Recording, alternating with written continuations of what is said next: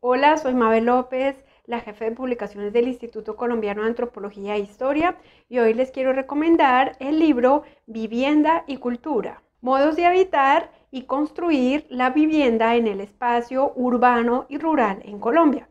Una publicación en asocio con el programa editorial de la Universidad del Valle y coordinada por la profesora Gilma Mosquera Torres y Ángela María Franco Calderón.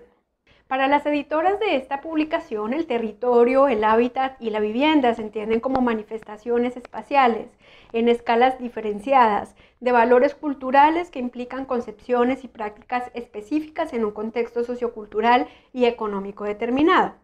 Bajo esa perspectiva, esta obra aborda la vivienda autóctona, la vivienda tradicional y la construcción cultural de la ciudad actual en Colombia. Los capítulos que conforman el libro recogen resultados de investigaciones sobre la vivienda urbana y rural que trascienden la descripción de los aspectos morfológicos, estéticos, simbólicos o técnico-constructivos para incluir perspectivas analíticas que involucran las características del hábitat y la vivienda en distintos ámbitos geográficos y contextos socioculturales.